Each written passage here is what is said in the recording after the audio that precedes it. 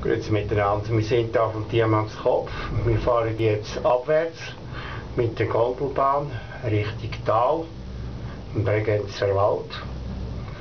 Der Diamantskopf ist der höchste gelegene Aussichtspunkt im Bregenzer Wald. Wir geniessen die schönen sonnigen Tage im schönen Österreich